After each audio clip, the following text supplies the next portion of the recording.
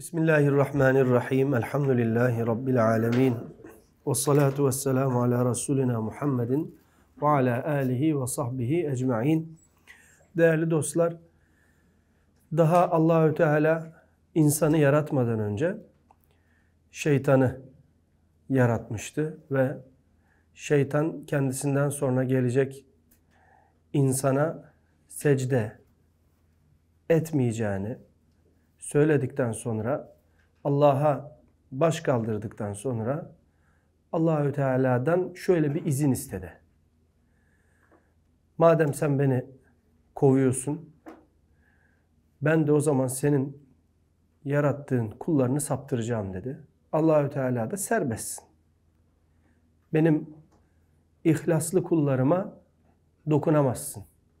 Dokunamayacaksın buyurdu.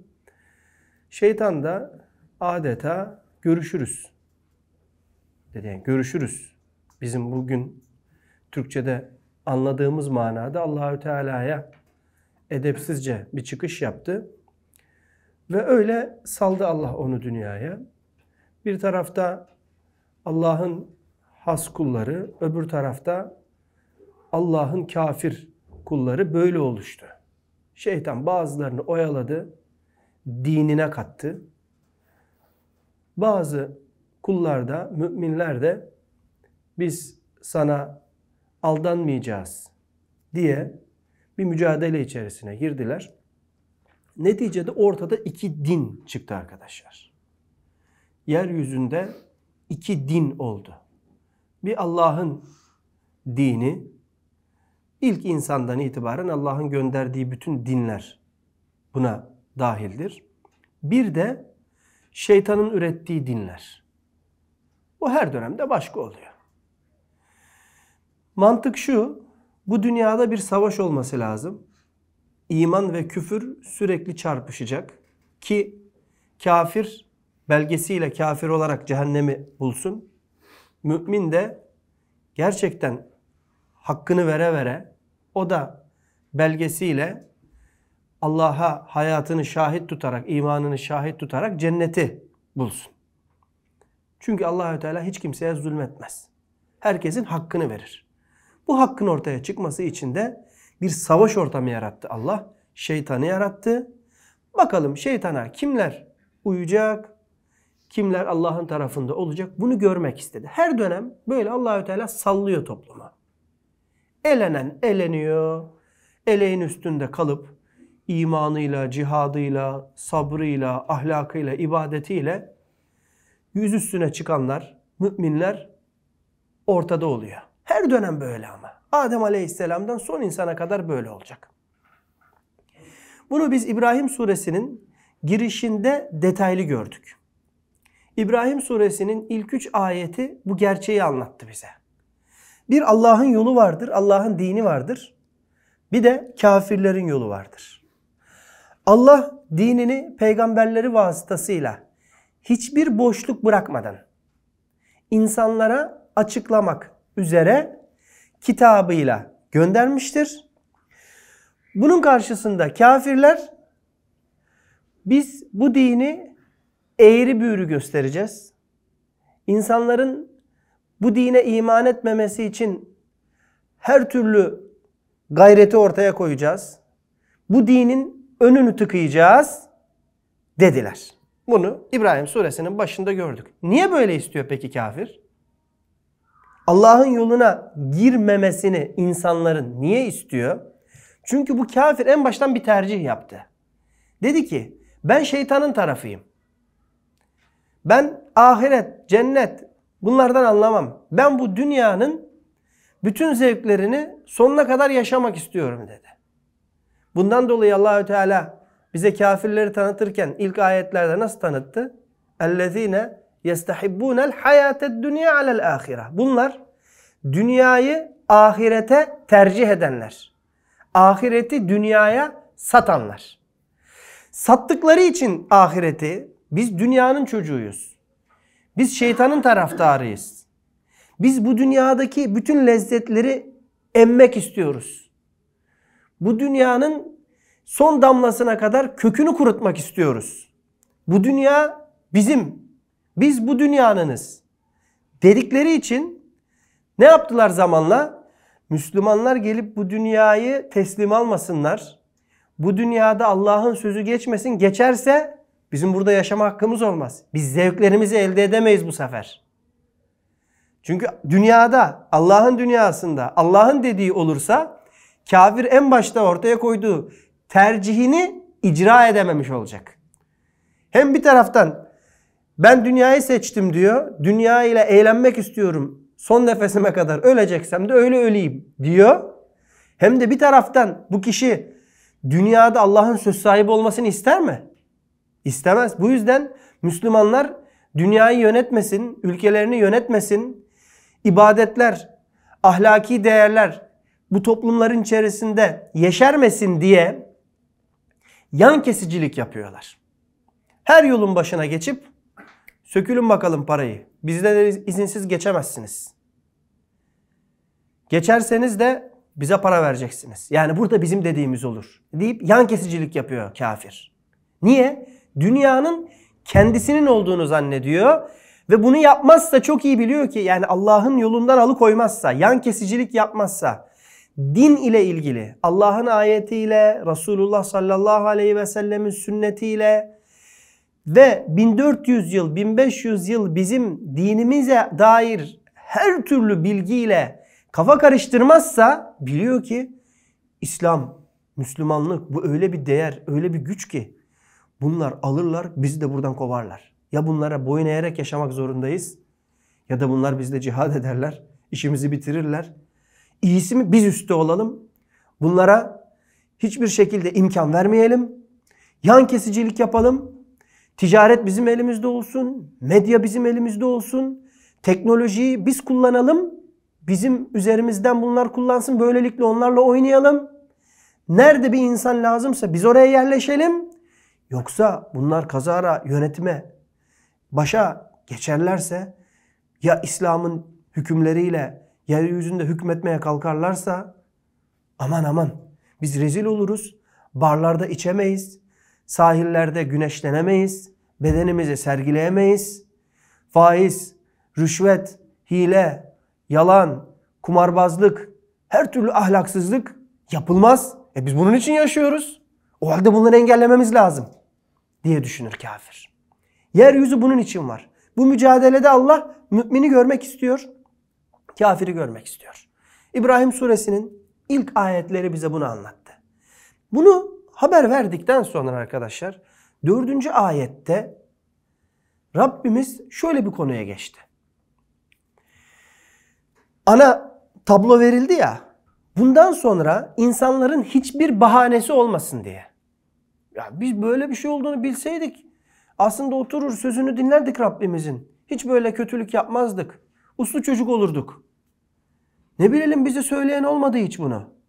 Demesinler diye kafirler Allahü Teala bütün mazeretlerini kaldırmak için buyuruyor ki başta bizim Kur'an'ımızın gönderildiği toplum ve bizden önceki Allah'ın hangi yöreye peygamber gönderdiyse, hangi topluma kitap gönderdiyse oralarla ilgili biz her gönderdiğimiz peygamberi bulundukları yörenin diliyle gönderdik buyuruyor.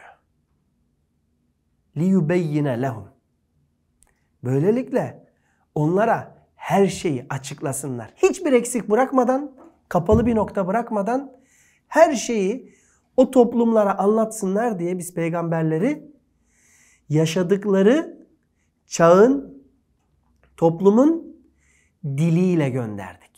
وَمَا أَرْسَلْنَا مِنْ رَسُولٍ اِلَّا بِلِسَانِ قَوْمِهِ لِيُبَيِّنَ لَهُمْ Demek ki Allahü Teala bu hakikatleri bizim bu giriş olarak konuştuğumuz İbrahim suresinin başındaki bir tarafta kafirlerin yolu, kafirlerin dini, öte yanda Allah'ın dini, sırat-ı müstakim yolu. Allah cennete sırat-ı müstakime çağırıyor, kafirler de kendi dinlerine çağırıyorlar. Yemeye, içmeye, eğlenmeye, yeryüzünü talan etmeye. Çılgınlarca, azgın gibi oyun oynamaya. Çıldırmışçasına alkolik olarak eğlenmeye davet eden, bir taraftan da bu zorlu yol, cennet yolu, ibadet yolu diye Allah'ın dini. Bu ikisinin mesajını vermek üzere Allah peygamber gönderiyor. Böylelikle hiç kimse bize bunları anlatılsaydı biz Allah'ın dinine girerdik. Cennet yolunu seçerdik. Biz bunu bu sapıklarla ne işimiz var? Biz böyle ahlaksız bir güruhun yanına niye gidelim ki? Bunlar hem bizi bozuyorlar, kendileri zaten bozuk, çocuklarımızı da bozacaklar. Tövbe haşa. Biz bunlarla beraber olamayız. Ama biri anlatmadı bize. Diyemeyecekler. Niye? Çünkü Allahü Teala her peygamberi hangi topluma gönderdiyse o toplumun anlayacağı dille konuşturdu. Her şeyi açıklaması için gönderdi. Dolayısıyla bizim dinimizde ve önceki dinlerde hiçbir kapalı nokta yoktur. Her şey açıklanmıştır. Din, Kur'an, sünnet her şey bellidir. Haramları bellidir. Helalleri bellidir. Allah neyi emrettiyse onlar yapılacaktır. Başka bir emri yoktur Allah'ın. Allah neyden kaçın demişse onlardan kaçacağız. Yeni güncellenen emirleri yok Allah'ın. 22. yüzyılda yasaklar değişti.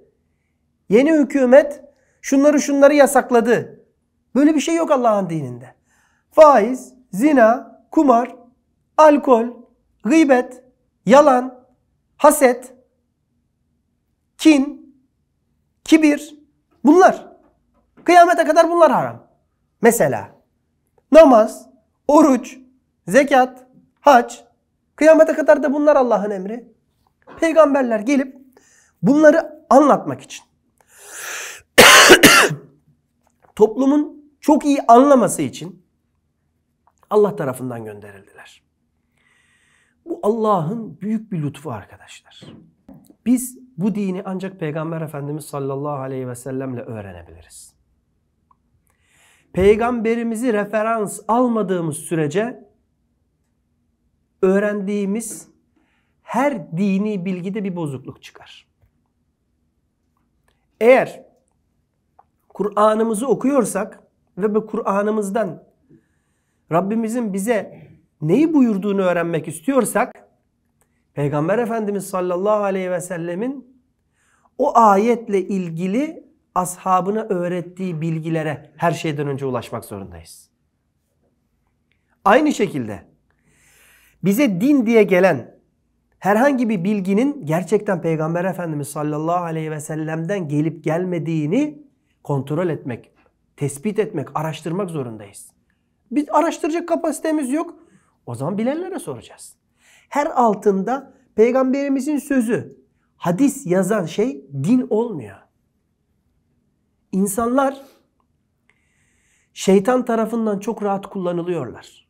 Müslüman olanlar bile kendi anlayışlarını hakikat diye sunmak için bunlar peygamberimizden söylenmiş, ehli sünnet kitaplardan gelmiş deyip ne kitabın adını verirler ne peygamberimizin bu hadisinin nerede olduğunu söylerler. Bize inanmıyor musun yoksa? Biz ehli sünnetiz deyip şeytanın kullandığı bir adam haline gelip kendi oluşumunu yüceltmek için bir din operasyonu çektirebilir şeytan. Dolayısıyla bizim işimiz bu ilk ayetin ilk bölümünden her şeyden önce şunu öğrenmek olmalı. Din ancak Resulullah sallallahu aleyhi ve sellemin peşinden giderek öğrenilir. Bir hocadan öğreniyorsak biz bunu, o hocanın sünnete ne kadar tabi olduğunu, sünnetten bize ne kadar bilgi aktardığını tespit etmemiz lazım. Hocanın her sözü falanca hazretin kitabından geliyor. Ya bir kere de peygamberimizin kitabından anlat bunu. Yok. Burada birazcık şüphelenmek gerekiyor. O Hazretin kitabında da doğru dürüst Peygamber Aleyhisselam'ın sözü yok. Hep Hazretlerden geliyor sözler. Bunlar rüya aleminde. Senin anlamayacağın metafizik alemden akan bilgiler. Bunu herkese vermez Allah. Ama biz az önce ne okuduk? Allah her peygamberi kendi kavminin diliyle iyi anlasınlar, onlara açıklasın diye göndermiştir. Dolayısıyla peygamberler hiçbir şey gizli bırakmıyorken nasıl Allah bazı şeyleri Bazı bilgileri sadece belli kullarına veriyor da okuldan öncekiler o bilgileri bilmiyor. Bu nasıl bir din ki? Diyelim 1500'lere kadar gelindiğinde o bilgi bilinmiyordu. 1500'lere kadar yaşayanların hepsi o bilgiden mahrumdu. 1500'den sonra gelenler gerçek tefsiri öğrendiler. Dolayısıyla tüm zamanların tefsiri bu kitaptır. Muazzamdır, mutlaktır. Eşi benzeri yoktur. E bu ne zamanın tefsiri? 1700'lü yılların tefsiri. E o zaman 1700'lü yıllara kadar en az bin sene var. O bin senede insanlar bu tefsiri okuyamadıkları için o zaman Kur'an'ı anlayamadılar. Hiçbir şekilde de İslam'ı yaşayamadılar ya da eksik yaşadılar mı diyeceğiz. Hayır. Resulullah sallallahu aleyhi ve selleme dayanmak zorundayız. Bir şekilde. Buna dayanan hocadan ilim almak zorundayız. Bunun dışındaki bütün yöntemler şeytanın safsatasıdır, oyunudur, Müslümanlar içine kurduğu tuzaktır. Buradan şöyle bir çıkış yapabiliriz arkadaşlar. Ayetimiz ne dedi bize? Her topluluğa Allah eğer bir peygamber göndermişse onu neyce konuşuyorlarsa o dille. Yani örnek veriyorum sadece. Bugün Allahü Teala Çin bölgesine bir peygamber göndermek istese böyle bir ihtimal yok. Yani bir daha peygamber gelmeyecek ama anlaşılsın diye söylüyorum. Hangi dili konuşan bir peygamber gönderecek? Çince. Mesele çünkü Allah'ın dininin aktarılması, öğretilmesi. Aksi takdirde insanlar ''Aa bu yabancı bir kitap. Biz bunu nasıl anlayacağız?'' diye bahane öne sürebilirler. Ne dedik en başından beri? Rabbimiz bütün mazeretleri kapatıyor. Rahmeti gereği insanların en rahat, en güzel bir şekilde bu dini anlayacağı bir sistem kurmuş. Öyle metafizik alem, gizli alem, rüyada anlatılır böyle şeyler. Biz bunları anlamayız. Allah'ın dini böyle değil. O başka bir din. O insanların uydurduğu bir din. Ne çıktı buradan? Allah peygamberlerini gönderildiği toplumla aynı dili konuşturdu. Dolayısıyla da Resulullah sallallahu aleyhi ve sellem bu kitapla gelirken hangi dille gelmiş oldu? Arapça ile gelmiş oldu. Çünkü Allah toplumu Arap toplum olarak seçmiş. Resulullah sallallahu aleyhi ve sellemi Arap seçmiş. Bunun en doğal sonucu nedir? O topluma Arapça bir kitap göndermesidir. Allah peygamberini nereden nasıl seçeceğini çok iyi bilir. Diler ve seçer. Allahu a'lemu haysu yec'alu risalete. Allah kime peygamberlik vereceğini çok iyi bilir buyuruyor En'am suresinde. Peygamber olarak kimi nereye göndereceğini de çok iyi bilir. Allah zulmetmez, merhamet eder. O zaman peygamber Arap. Toplum Arap. E bu kitap neyle gelecek? Arapça gelecek. Maksadı ne peki kitabın? Anlatmak, açıklamak. İnsanlara öyle öğrendikten sonra başkalarına istediği dille öğretsin. Mesele dil değil ilk etapta. Mesele toplumun öğrenmesi. Çünkü hemen bunu dinleyen insanın zihninde şeytanın verdiği bir vesvese olarak şöyle sorular oluşuyor. Ama biz Türkçe dilini bilen bir toplumuz. O zaman Kur'an bize hitap etmiyor mu?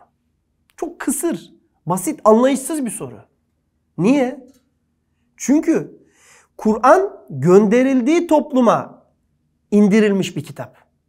O gün Allahü Teala Arap toplumunu Resulullah sallallahu aleyhi ve sellemin gönderilmesi gereken bir toplum olarak seçmiş. Allah'ın peygamber seçmesi gibi bir şey bu. Adem aleyhisselamın peygamber seçmesi, Nuh aleyhisselam peygamber seçmesi gibi bir şey. Diledi ve seçti. Ne karışacağız?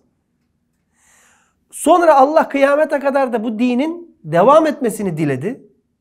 Demek ki ilk etapta bu din gönderildiği toplumda iyice anlaşılsın. Kimsenin mazereti olmasın. Aa bu peygamber yabancı bir dil konuşuyor. Ben bunu anlamıyorum ki. Ben nasıl anlayacağım? İmanı o zaman nereden bileyim? Bu peygamber yani başka bir dille gönderilmeliydi. Bizim dilimizi konuşmalıydı. Demesinler diye Allahü Teala gönderdi onu. Herkes öğrendi, duydu, mazeret kalmadı. Hakikatler ayan beyan ortada. Herkes artık tercihini yapacak. Dileyen o peygamber üzerinden Allah'ı inkar edecek. isteyen de ben buldum Rabbimi diyecek o peygamber üzerinden. Bu yüzden ayetin devamı hemen şöyle. Feyudillullahu men yeşâ'u ve yehdi men yeşâ. Allah dilediğini saptırır, dilediğine de hidayet verir. Şimdi ayeti toplu okuyorum. Biz bir peygamberi nereye göndermişsek mutlaka o toplumun diliyle gönderdik. Hakikatleri açıklasın diye. Sonra Allah dilediğini saptırır, dilediğini hidayete ulaştırır. Her şey ayan beyan ortada. Bundan sonra bana ne ben kabul etmiyorum bu peygamberi derse otomatik sapıtmış oluyor. Allah da onu madem sen inkar etmek istiyorsun al sana sapıtma. Öbürü de Ebu Bekir radıyallahu anh olarak ben buldum Rabbimi diyor. Hop Allah onu hidayete erdiriyor. Aynı Ebu Cehil aynı toplumda aynı Arapçayı biliyordu. Aynı Ebu Bekir aynı toplumda aynı Arapçayı biliyordu. Resulullah sallallahu aleyhi ve sellem herkese aynı Arapça ile konuştu. Yöresel farklılık da yoktu. Aynı bilgiler geldi. Birisi ben kabul etmem seni dedi. Bizim ilahlarımız var dedi. Nereden çıktın dedi. Atalarımızın, geleneğimizin bozulması için mi çıktın ortaya? Yalancısın sen. İftiracısın dedi. Biri de ben iman ettim dedi. Ve bu iman edenler hep az oldu. Allah'ın dilediğini saptırması, dilediğine de hidayet vermesi bu işte. Her şeyi Allahü Teala açıklıyor. Kimisi şimdi ilk üç ayete geçelim. Kafirlerin sistemine kafa yorduğu için dünyayı tercih ettiği için ne demişti kafirlerin ilk özelliği olarak? Onlar ahireti bırakıp dünyayı satın aldılar. Baktı zor. İmanla ilgili meseleler zor. Bütün zevklerini, bütün keyiflerini iptal etmen lazım. Bana ne ben böyle bir dini kabul etmem diyor. Öyle mi? Sen tercihini dinsizlikten yana mı yapıyorsun? Küfürden yana mı yapıyorsun? Allah da seni böyle saptırır işte. Ben böyle arkasından sınavları olan Allah'ın fitneler göndererek imanımı daha çok ayakta tutacağı bir din için her şeyimi veririm, canımı da veririm dediği hidayeti istedi. Allah da onu hidayet yollarına ulaştırdı. فَيُضِلُّ اللّٰهُ مَنْ يَشَاءُ وَيَهْدِي مَنْ يَشَاءُ Bu işte. Bugün de aynı konu. İnsanlar işte burada az önce verdiğim örnek gibi madem işte Kur'an Arapça beni niye o zaman Allah zamanında Arap ben şimdi anlayamıyorum. Nasıl yapacağım? Anlayamıyorsun diye bir şey yok ki. Din önüne senin hazır geldi hazır. Belki o gün olsaydın daha sıkıntı olacaktı. Sana her şeyini anlatan, öğreten peygamberin var, onun ashabı var. Önüne hazır bir tepsi konmuş. Emirler bunlar, yasaklar bunlar. O günküler 23 yılda bunu anlamaya çalıştılar. Ne oluyor, ne bitiyor diye. Canlarını verenler oldu. Biz de hazır her şey şimdi.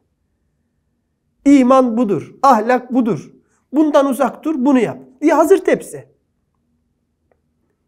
Bu neye benziyor biliyor musunuz arkadaşlar? Hocalar bazen Hani sınav yapmak istemeyip de her öğrenciyi geçirmek isterler ya ama sınavda yapmak zorundadırlar. Soruları verirler. Alın bunlardan soracağım derler. Tembeller. O sorulara bakmaya bile tenezzül etmezler. Ama birazcık kafası basanlar, çok çalışkan olmasalar bile hocam madem bunlardan soracak lan bunları ezberlerim. Geçerim sınavdan derler. Ama bu Tembeller hocanın verdiği 10 soruya bakıp arkadaşlarından cevabını bulmaya bile tenezzül etmiyorlar. Bugünkü kafirlerin durumu bu. Önceki müşriklerin durumu da buydu. allah Teala her şeyi ayan beyan anlatıyor. Bak sorular bu. Cevaplar da bu. İşaretleyin. Sizi cennete koyayım diyor. Bunlar sorulara bakmaya bile tenezzül etmiyorlar. Bütün dertleri mazeret. Niye Allah peki bizi buralarda yarattı da beni zamanında işte Arap Yarımadası'nda da yaratabilirdi. Ben de peygamberimin dizinin dibinde ağlaya ağlaya Müslüman olabilirdim. Ebu Cehil niye olmadı o zaman? Ebu Leheb niye olmadı? Bu öyle değil ki. Bir arayış içerisinde olan Allah veriyor bunu. Hazreti Ömer de ilk etapta olmamıştı. Hatta iman ettiği için kardeşini öldürmeye gitti. Ama Duyduğu sesle irkildi. Bir dakika dedi ya ne oluyor? Biraz bir düşüneyim dedi. Allahu Ekber bunlar doğru şeyler dedi. Arayışını Allahü Teala iman ile taçlandırdı. Bir anlık arayış bile yeter bizim hidayet bulmamız için. Ama insanlar mazeret üretmek isteyince yapılacak hiçbir şey yok. Allahü Teala yönelişimiz ve irademizin karşısında sonucunu veriyor. Yönelişimiz ahlaksızlığa ise, gavurluğa ise gavurlukta Allah bırakıyor. İmanı arayana da Allahü Teala kutuplarda bile olsa o imanı nasip ediyor. Yeter ki arasına. Şimdi arkadaşlar burada bir başka noktayı daha ele almamız lazım. O da şu. Resulullah sallallahu aleyhi ve sellem her ne kadar ve diğer peygamberler bulundukları toplumun diliyle de gönderilseler kendilerine düşen peygamberlik görevlerini hakkıyla da yerine getirseler yani bugünkü deyimle en iyi tebliği de yapsalar hidayet neticede Allah'ın elindedir. Biz bunu ilk dersimizde de konuştuk. Bi izni rabbihim diye ilk ayette geçmişti. Bu kitap sana indirildi. İnsanları karanlıklardan, yanlış durumlarından doğru durumlarına, hidayete doğru götürmen için gönderildi ama bir izni Rabbihim, Rabbinin izniyle. Yani bir peygamber bile olsa insan en iyi tebliği tüm performansıyla yerine de getirse olmayınca olmuyor. Evet insanların arayışı çok önemli. bir taraftan peygamberlerin görevlerini yerine getirmesi. İki başlığı var bu hidayetin. Ama peygamberler görevini yerine getirdi diye illa hidayet olacak diye bir kural yok. Bu sebeple bugün bize şöyle bir ders düşüyor. En yakınlarımız, kendi annemiz babamız, evlendik eşimiz, çocuklarımız, en yakın arkadaşlarımız da dahil olmak üzere. Nuh aleyhisselam gibi 950 sene boyunca yapılması gereken her şeyi en iyisiyle bile yapsak sonucun Allah'ın elinde olduğunu bilmemiz gerekiyor. Nuh Aleyhisselam'ı anlatırken Allahü Teala ne diyor örneğin? Gece gündüz tebliğ yapmış Nuh Aleyhisselam. Gece gündüz 7-24. Gizli açık. Özel gittim yanlarına olmuyor. Genel konuşuyorum olmuyor. Sosyal medyadan yazıyorum olmuyor. Evime davet ediyorum olmuyor. Sabah namazından sonra konuşuyoruz olmuyor. Cuma vakti gidiyorum. iş yerine gidiyorum. Akşam çaya çağırıyorum. Onun kafesine gidiyorum. Olmuyor. Olmuyor. Çünkü diğer taraf istemedikten sonra bu olmaz. Nuh aleyhisselam bile olsa bir insan 950 senede uğraşsa olmuyor. Aynısı Efendimiz sallallahu aleyhi ve sellem'de de oldu. Ebu Talip için. Yapmadığını bırakmadı. Ebu Talip iman etmedi. Dolayısıyla ne çıktı buradan? Biz Müslümanlar acaba neyi eksik yapıyoruz? Bunu düşünelim. Kendimizle ilgili, arkadaşlarımızla ilgili bir kusurumuz var da mı insanlar bu kadar imandan, ahlaktan uzak duruyorlar? Bunu da düşünelim. Ama şunu da bilelim. Biz Nuh Aleyhisselam'da olsak onlar aramadıkları sürece, Allah yazmadığı sürece onlar aramadığı için bu iş böyle. Kainatın yüzde doksanından fazlası hep şeytanın tarafı olmak istiyor. Bunu sembolik olarak söylüyorum. Yani abartmaya gerek yok. Kıyamete doğru bu sayı daha da küfür anlamında daha da artacak. Biz hep azınlık olacağız. Biz kıyamete kadar garip kalacağız. O yüzden bizim bu hidayet nimetinin şükrünü yapmamız gerekiyor. Kıymetini bilelim, ayağımız kaymasın diye çalışalım, dualar edelim. O kadar. Çünkü Allah ayeti bitirirken şöyle bitiriyor.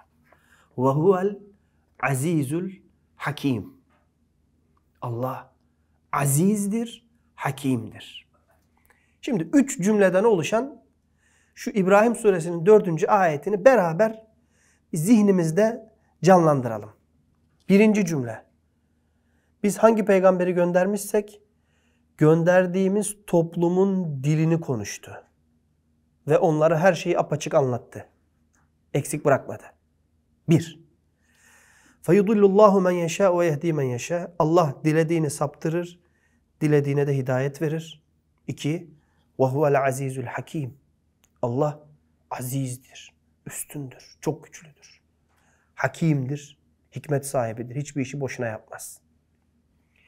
Rabbimizin Kur'an'ın da isimlerini böyle özellikle ayet sonlarında zikrederken hangi ismiyle ele alındığı üzerine ciddi çalışmalar var. Bu önceki bölümle bu isimlerin hep bağlantısı var diyor alimler. Ve neticede diyorlar ki her peygamberi gönderdik onlar anlattı. Eksik bırakmadı. Allah dilediğini saptırır, dilediğine hidayet verir. Allah azizdir, hakimdir. Burada Allah'ın üstün olması, hakim olması ne alaka? Nasıl anlayabiliriz bunu? diye açıklarken diyorlar ki azizdir çünkü hidayetin sahibi de dalaletin, sapıklığın vereni de odur. Neticede her şey Allah'ın eliyle olur. Evet kul hidayeti arar ama Allah hidayet verir. Kul sapıtmak ister Allah sapıklıkta bırakır. Yani asıl üstünlük, asıl güç ondadır. Orada bile Allah'ın gücünü kulun hissetmesi lazım. Hakimdir. Her işini hikmetle yapar. Hiçbir şeyi boşuna yapmaz. Layık olana hidayet verir. Hak edeni saptırır. Durup dururken hiç kimse kafir olmaz yani. Klasik sorular var yani. Biz diyelim hiç İslam'ın ulaşmadığı bir yerde yaşasaydık. O zaman da diyelim böyle gavur olarak gitseydik veya Müslüman olsaydık, şöyle olsaydı cennet mi cehennem diye klasik sorular var ya. Allah hakimdir. Hiç kimseyi boşuna cennete, boşuna cehenneme koymaz. Layık olanı cennete koyar, hak edeni de cehenneme odun yapar. Allah imanı bulacakları sebebi de yaratır. Hiç kimseyi başıboş bırakmamıştır. O bizim sorunumuz. Allah'ı anlayamama sorunu. Biz zannediyoruz ki bir kişi Afrika'nın yamyam ormanlarının içinde yaşıyor diye ona hidayet sebebi gitmez zannediyoruz. Kendimizin kafasıyla Rabbimizi düşünüyoruz. Ve ma kaderullaha hakka kadri dediği Allah'ın Allah'ı bir türlü takdir edemediler. Onun büyüklüğünü anlayamadılar. Dediği beyinsizler gibi bakıyoruz. Kargo şirketi miyiz biz ya? Bizim dinimiz kargo şirketi mi? O bölgeye gönderemiyoruz. Allah'ın dinini biz kargo firması mı zannettik? Afrika'nın ormanlarına, Everest tepesine çıkamıyor bu din.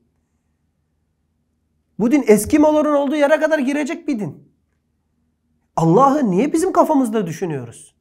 Bunu idrak edemeyenler bu soruyu sorabilirler. Ama biz böyle bir şey soramayız. Ve huvel azizül hakim. O çok üstündür. Dinini her yere ulaştırır. Hidayet onun elindedir. Hakimdir. O kimseyi sebepsiz yere küfründe, ahlaksızlığında, bataklığında bırakmaz. O öyle istediği için Allah onu öyle bırakıyordur. O kaymak istediği için Allah onu kayar bir vaziyette cehenneme kadar öyle bırakacak. Cehenneme kadar kayacak. En son gayya kuyusunda küt kalacak orada. Arkadaşlar dördüncü ayeti ben tamamladım. Ama burada iki noktaya işaret etmek istiyorum. Birincisi bu ayetlerden yola çıkarak hani her peygamberi kendi diliyle, kavminin diliyle gönderdik buyurdu ya Allah. Müşriklerin o dönemki Efendimiz'e gösterdiği bu konuyla alakalı bir tepkiyi size hatırlatmak istiyorum. Müşrik mantığının, gavur mantığının bu Allah'ı istemeyen kafanın nasıl olduğunu özetlemeye çalışacağım çok kısa. Ondan sonra da Arapça ile ilgili kısa bir bahsimiz var. Müşrikler Efendimiz sallallahu aleyhi ve sellem ilk olarak böyle onlara içlerinden bir peygamber olarak ben Allah'ın gönderdiği bir peygamberim diye kendi dillerini konuşarak karşılarına çıktığında müşrikler bu kitap yabancı bir dilde olsa olmaz mıydı dediler. Uyuz. İman etmeyecek ki hep bir bahanesi var. Müşrik kafası, gavur kafası budur. Özellikle bunu vurgulamak için anlattım. İman etmek istemeyen hep mazeret üretir. Hep uyuzluk yapar. Dolayısıyla onunla uğraşılmaz. Müşrikler ilk defa yabancı dilde gelmeli değil miydi bu kitap dediler. Allahü Teala Fussilet suresinin 44. ayetinde buyurdu ki Öyle olsaydı yabancı dille gönderseydik bu kitabı bizim dilimizde gelmeli değil miydi diyeceksiniz. E'cemiyyün ve arabi Kitap başka, peygamber başka. Böyle bir şey mi olur ya? Peygamber Arap ama kitap İngilizce. Böyle olmaz böyle bir şey. Diyen kafanın sahibi bunlar. Anlayacakları dilde gönderirsin, konuşursun. Bize başka bir dilde konuş, biz bunu anlamıyoruz derler. Başka türlü konuşursun, anladığımız dilden konuş derler. Dertleri ne? Bağcıyı dövmek. Üzüm yemek istemiyor bunlar. Hakikatleri duymak istemedikleri için hep sebep mazeret üretiyorlar. Kafir kafası budur. İman etmek isteyen ise ne diyorsun dinlemek istiyorum der. Ve bu kafa öyle bir kafa ki arkadaşlar. Bakın Enfal suresinin 32. ayetinde bir de şöyle demişlerdi diyor Allahü Teala. Ve iz kalullahumme in kana hada huvel hak. Ey Allah'ım diyenler müşrikler arkadaşlar. Ey Allah'ım eğer bu Muhammed'in işte okuduğu onlar öyle diyorlar ya. Gerçekten senin katındansa, gerçekten bunu sen gönderdiysen فَاَمْطِرْ عَلَيْنَا حِجَارَةً مِنَ السَّمَاءِ Bize gökyüzünden taş yağdır. اَوِئْتِنَا بِعَذَابٍ elim Ya da bize çok büyük bir azap getir. Ey Allah'ım diyorlar. Ey Allah'ım gerçekten bu Muhammed'in getirdiği kitap sen gönderdiysen bunu bize azap gönder gökten taş yağdır başımıza diyorlar.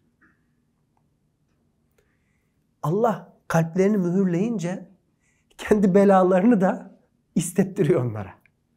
Küfür böyle bir şey arkadaşlar. Kabul etmemek için ölelim de geberelim derler.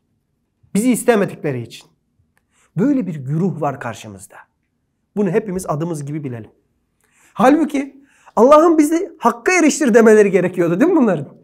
Akıllı bir insan böyle der. Gökten üzerimize azap gönder Allah'ım diyorlar. Sırf uyuzluğuna. Niye bu Arapça değil? Arapça ise niye Arapça anlamıyoruz? Başka bir dilden gönder. Böyle modern olsun biz öyle Arapçalarla uğraşamayız. Değişik kişiler hani biz diyelim Türkçeyi çok iyi biliyoruz ama bize İngilizce biri konuşunca anlamasak da ne diyoruz? Abi adam konuşuyor. Aynı kafa. Yabancının anlattığı Arapçaya, İngilizce çok daha kıymetli. Sana Türkçe biri güzellikle bizim dinimiz budur dese, o İngilizler daha iyi konuşuyor. Bizim hocalarımız hiç İngilizce bilmiyorlar. Sanki İngiliz, İngiltere'de konuşuyoruz. Dünyanın en çok İslam'a muhtaç olan ülkesi bugün Çin'dir. Konuşsana biz Çince bilmiyoruz diye. Kompleksten başka bir şey değil bu. Çok yüreğin varsa hadi herkes Çince öğrensin. Uyuzluk bu başka bir şey değil. Ve ikinci notumuz arkadaşlar. Kur'an'ımız Arapça. Bu çok net. Dolayısıyla Allah bu dili seçti. Dininin dili Arapçadır Allah'ın. Arapçadan daha üstün bir dil yoktur. Daha iyisi de olmaz. Kur'an öyle geldiyse. O zaman hep beraber Arapça öğrenelim. Bu mu var? Yok. Bu değil. Arapçayı öğrenmeye teşvik var. İslami ilimler için. Kur'an'ın dilini anlamak için. Peygamber aleyhisselamı anlamak için. Ama mümkün mü herkesin Arapça öğrenmesi? Bu alanda kabiliyetli, istekli arkadaşlar Arapça öğrenmeli. Bu alanda hizmet edecek arkadaşlarımız mutlaka Arapça öğrenmeli. Bilmeyen, bilenden dinini öğrenmeli. Bizim derdimiz Arapça değil. O Arapça üzerinden gelen dinimiz. Dinimizi yaşadıktan sonra Rabbimiz bize aa siz Arapça öğrenmeden geldiniz huzuruma. Cennete bu şekilde girilmez mi diyecek. Böyle bir şartı mı var cennetin? Yok. Arapça takıntısı yapmaya gerek yok arkadaşlar. Hocalar, ilim adamları, ilim talebeleri öğrensinler. Ama biz de Arapça öğrenmeliyiz. Arapça kursu, şu Arapça, bu Arapça. Evet, gerçekten bu ilimlerde ilerleyip ve insanlara kaliteli öğrenip Anlatmak için öğren. Öğrensin o arkadaşımız. Ama ben şu an karşınızda nece konuşuyorum? Ne kadar Arapça bilir, bilirsem bileyim. Karşımdaki insan Türkse benim Türkçe konuşmam lazım. Derdimi çünkü anlatmak diye bir hedefim var. لِيُبَيِّنَ lehum. Anlatasın diye seni gönderdik. Aynı dilde gönderdik ama maksat mesajı ulaştırmak. Benim çok iyi Arapça bilmem veya çok iyi İngilizce bilmem. Karşımdakine mesaj vermeye yetmiyor. Karşımdakine çok iyi ileti sunabilmem lazım. Bu da bizim aynı ortamda aynı dili konuşmamızla mümkün. Dolayısıyla hangi dili konuşuyorsak o dili çok iyi öğrenmemiz lazım. Dinimizi de çünkü o dille anlatacağız. Özellikle hepten anlayışların, dillerin, kültürlerin değiştiği, 10 sene öncesinin kelimelerinin bile değiştiği yerde zamanın dilini yakalayamadığımız sürece derdimizi güzel anlatamayız. Mesele ortak bir zihin yakalamaktır. Bunun için kadınla konuşurken bir hoca başka konuşur. Kadının anlayacağı kültür, yöntem başkadır. Aynı Türkçedir ama örnekler değişir. Narinleşir. İş adamıyla başka bir örnek üzerinden dini konuşursun. 20. yüzyılın diliyle 21. yüzyılın dili de aynı değil. Yakaladığımız, yaşadığımız çağı yakalamak zorundayız. Liselinin diliyle üniversitelinin dili aynı mı? Dönelim ayete. Biz her peygamberi içinde bulunduğu toplumun diliyle gönderdik iyi anlaşsınlar diye. O zaman ben liselilerle konuşurken bir dil, üniversitelilerle konuşurken bir dil, büyük şirket yöneticileriyle konuşurken başka bir dil. Çiftçi amcamla konuşurken başka bir dil, annemle babamla konuşurken başka bir dil. Kadını, genci, yaşlısı herkesi farklı farklı. Mesele o punto dedikleri iki tarafın da anlayacağı frekansı yakalamak. Ve bu Arapça ile olmuyor arkadaşlar. Arapların olduğu bir toplumda bile olmuyor. Bugün Arapçanın da orijinali gitti. Mesele toplumun dilini yakalamak. Çünkü mesele dinimizi aktarmak. Bunun için dil kesinlikle kıymetlidir. Ama dil takıntısı yapmaya gerek yoktur. Arapçadan daha güzel bir dil yoktur. Herkes Arapça ile meşgul olacak diye bir kural yoktur. Ama ne kadar Arapça ile uğraşırsa uğraşsın bir hoca bile Türkiye'de konuşacağı zaman Türkçe konuşmak zorundadır. Hatta Türkiye'nin Kürtçe konuşulan bölgelerine gittiğinde o Türkçe bir işe yaramayacak. Söz gelimi sürekli İstanbul'da yaşayan birisi bir gün Hakkari'nin Şırnak'ın bir köyüne davet edilse büyük ihtimalle orada derdini çok iyi anlatamaz. İnşallah 5. ayetten 6. ayetten devam edeceğiz. Ve sallallahu ve sellem ala seyyidina Muhammed ve ala alihi ve sahbihi ecma'in velhamdülillahi rabbil alemin.